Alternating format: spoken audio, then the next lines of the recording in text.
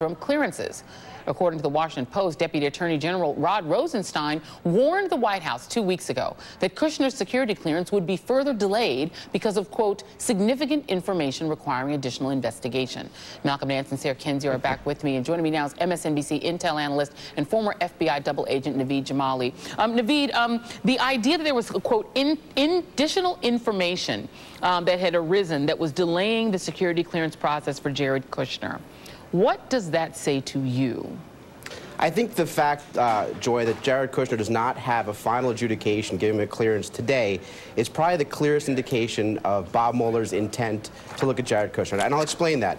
There are two sort of tranches of clearances. There's a person who has never held a clearance before, in which case the investigation to adjudicate, to determine if that person is in fact eligible to hold a clearance, starts from the day they were born to present day. Then there's a second type of clearance. There's someone who already has a clearance and perhaps has left government office, like Christopher Wray, who left government office and then came back. The investigation will then focus in the, in the interim, the time that lapsed between him having a clearance and him coming back. Jared Kushner, in order to get a clearance, the FBI would have to say that everything he has done, and let's just talk about the wave tops, meeting with Kislyak, uh, setting up, trying to set up back channels, the VEB bank meetings, the Trump Tower meetings, the fact that he owes 1.25 million billion dollars, excuse me, on 66 Fifth, uh, Fifth Avenue. Essentially, to give him a clearance, the FBI would say, no big deal. That's what they would have to come back to give him a clearance, say it's not a risk. I do not see how the FBI is going to do that. I, and for that matter, it would mean that it would uh, preclude, I would imagine, impact uh, Bob Mueller's investigation to Kushner if there's charges forthcoming. If someone is going to come back and charge Jared Kushner, and then he's going to say, well, hey, you cleared me to have a clearance. You said these were not a big deal. Mm -hmm. It would be an absolute uh, 180 on that. So I don't see how he can get a clearance simply because it probably means Bob Mueller's investigating him. So the interim clearance has got to go. He's got to be put in a position that doesn't require clearance. And, and by the way, the fact that he doesn't draw a salary, as Sarah pointed out, hey, Guess who else didn't draw a salary? Paul Manafort. I mean, that's not, it's not a yeah. ringing endorsement of no, anything. it's not. And Malcolm, the interesting thing, so, so to that very point, um, Ted Lieu, Congressman Ted Lieu of California, uh, issued a statement about these questions about Jared Kushner in which he said the following. The questions we've been asking are pretty simple, meaning Democrats. Did he have any discussions with foreign nationals about 666 Fifth Avenue? And that means when he's jaunting around the world without his security clearance. And if so, did he discuss anything related to helping finance, purchase, or assist with the debt on 666 Fifth Avenue? The longer we wait for a response, the more it seems like Mr. Kushner, Kushner has has something to hide. And Malcolm, that's in addition to the fact that he did ask for secure communication on Russian facilities um, about we don't even know what. Is there any circumstance under which you can imagine him ever being qualified by the FBI for a security clearance?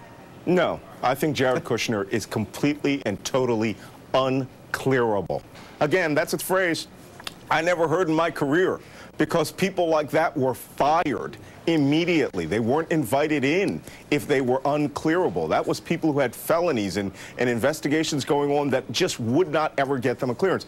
And I, I, agree with you, Joy. That one point alone, the investigation into whether Jared Kushner actually asked the Russians to use secure cryptographic systems in order to hide communications from NSA and CIA, that right there tells you he should not be anywhere near the presidential daily briefing or any top secret SCI material in the White House at all. We don't know where his loyalty lies. I'm sorry. That's just a fact.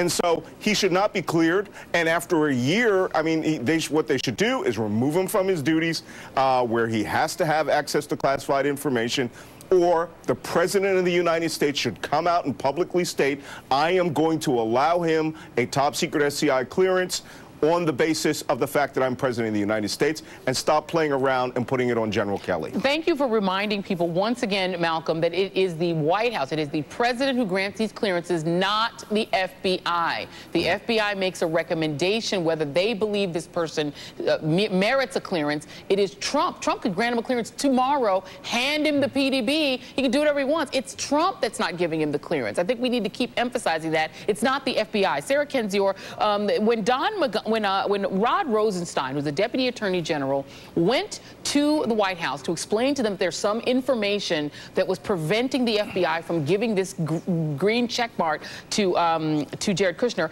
it's not clear that he could have even explained why to Don McGahn. Because as the chart that we just put up shows you, Don McGahn, the White House counsel, doesn't have a final security clearance. He's on an interim. Sarah Huckabee Sanders is on an interim. Ivanka Trump's on an interim. Dan Scavino, who runs the White House Twitter.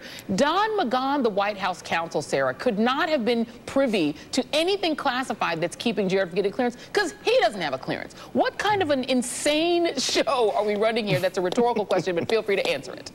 No, I mean, this is absolutely unprecedented. We've never had this many people in the White House who, who lack a security clearance. And Kushner uh, has the worst record of anybody, uh, you know, to enter this kind of position and gain this kind of access to classified information. You know, the number of things that he left off his forms in terms of, um, you know, foreign investments, in terms of meetings with foreign officials, you know, is enormous. There's nothing that compares to it. And so this is very serious. And I think they've been using the interim clearance as a way uh, to, you know, get people people like Kushner classified information while circumventing the very rigorous clearance process that, as Malcolm pointed out, would have normally kept him out in the first place or gotten him fired. And so one thing that I'm worried about is that say Kushner goes, say they actually do clamp down on this, then yeah. what happens? Kushner has been there for a year. He's been getting classified information. We know he has ties to Russia, to Israel, to Saudi Arabia. We don't know what he, he's exactly doing in his position, but we know that he has, you know, these back channels and these connections, and that he has information that's incredibly valuable that can be sold on a market, and we know that there's a market for state secrets. And so these problems with these staffers with interim clearances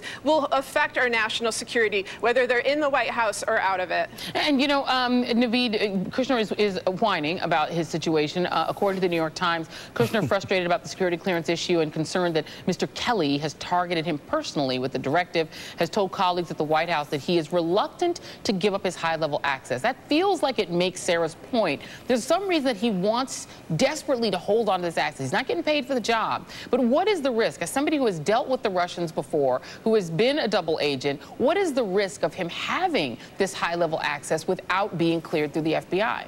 Well, you know, at the time when I was dealing with the Russians, the Russians knew I was applying to become an intelligence officer in the Navy. And essentially what I told the Russians was that I saw my position in that office as a way to personally enrich myself. I see an absolute one-to-one -one ratio with Paul Manafort, Jared Kushner. These are people who don't necessarily have a loyalty to the United States. They simply, Wait, I'm sorry, I'm sorry, Naveed, can you say that again? What did you tell them? You told I them? told them when I was when I was when I was working for the Russians, one of the reasons they were interested in me is because I was, they knew I was going to become an intelligence officer in the United States Navy. That was one of the reasons they recruited me. And I was very clear. It was very clear, it was understood um, that I was doing that in large part, that I would have access to information that I could sell, and I would be able to enrich myself. I mean, wow. that was part of the profile that I built to present to them. And I see a one-to-one -one parallel between what I presented to the Russians and someone like, like Manafort, someone like Kushner, who see their office, aren't drawing a salary, see their position as a way to personally enrich themselves, not through service, but through their access. And I think that is exactly what the Russians, not just the Russians, but the Chinese are looking for. They're looking oh. for people like that. Oh, my God. Get, get the, for, for the readers out there, for the people who are watching out there who didn't get that,